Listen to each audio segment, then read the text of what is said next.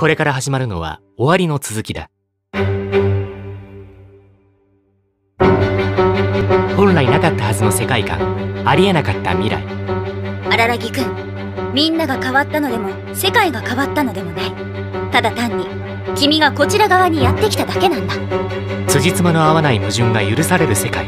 君は鏡の中に来たんだよ。